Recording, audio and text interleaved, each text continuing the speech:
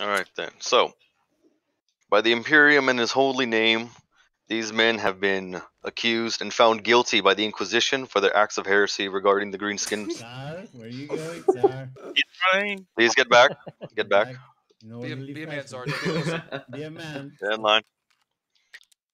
For that heresy, there must be a reminder that we are in a struggle in this eternal war, and mercy is indeed weakness.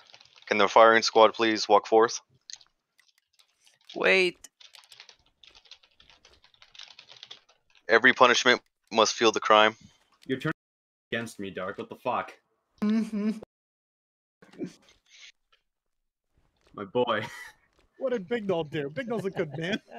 Big Nose an anagram for goblin. He's not wrong. Please Not- silence everyone.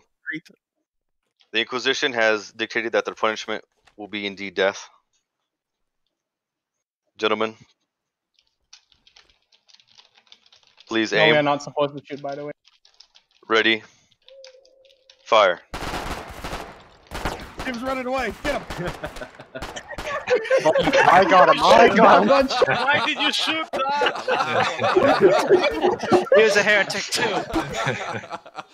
open fire! Open fire!